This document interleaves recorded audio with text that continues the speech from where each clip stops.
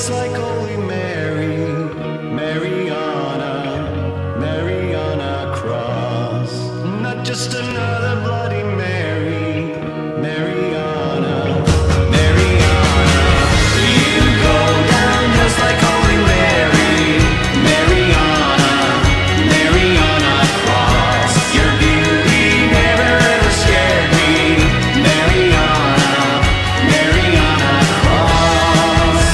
He cheers